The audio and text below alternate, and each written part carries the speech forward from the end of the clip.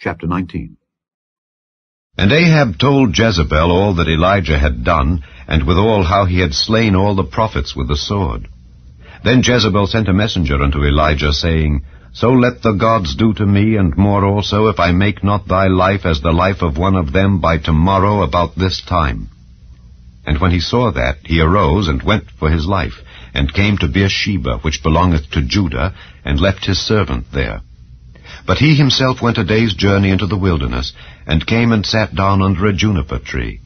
And he requested for himself that he might die, and said, It is enough. Now, O Lord, take away my life, for I am not better than my fathers. And as he lay and slept under a juniper tree, behold, then an angel touched him, and said unto him, Arise and eat. And he looked, and behold, there was a cake baken on the coals, and a cruse of water at his head. And he did eat and drink, and laid him down again. And the angel of the Lord came again the second time, and touched him, and said, Arise and eat, because the journey is too great for thee.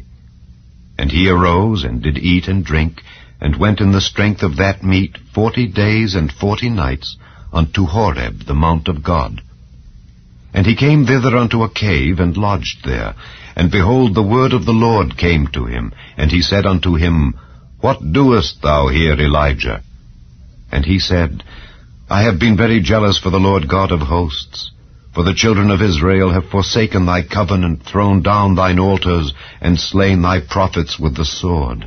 And I, even I only, am left, and they seek my life to take it away. And he said, Go forth and stand upon the mount before the Lord.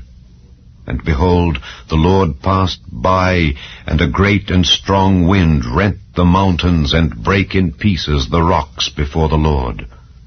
But the Lord was not in the wind. And after the wind an earthquake, but the Lord was not in the earthquake.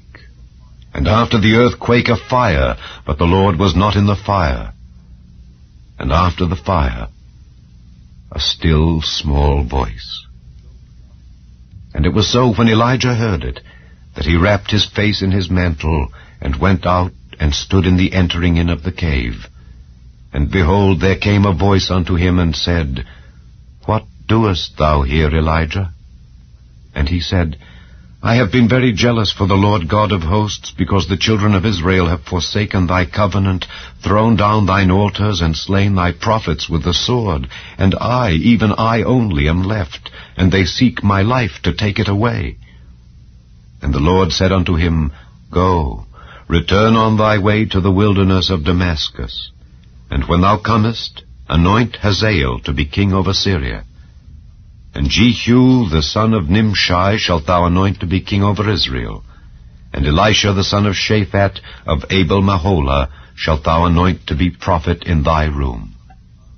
And it shall come to pass that him that escapeth the sword of Hazael shall Jehu slay, and him that escapeth from the sword of Jehu shall Elisha slay. Yet I have left me seven thousand in Israel, all the knees which have not bowed unto Baal, and every mouth which hath not kissed him. So he departed thence, and found Elisha the son of Shaphat, who was plowing with twelve yoke of oxen before him, and he with the twelfth. And Elijah passed by him, and cast his mantle upon him. And he left the oxen, and ran after Elijah, and said, Let me, I pray thee, kiss my father and my mother, and then I will follow thee. And he said unto him, Go back again, for what have I done to thee? And he returned back from him, and took a yoke of oxen, and slew them, and boiled their flesh with the instruments of the oxen, and gave unto the people, and they did eat. Then he arose and went after Elijah, and ministered unto him.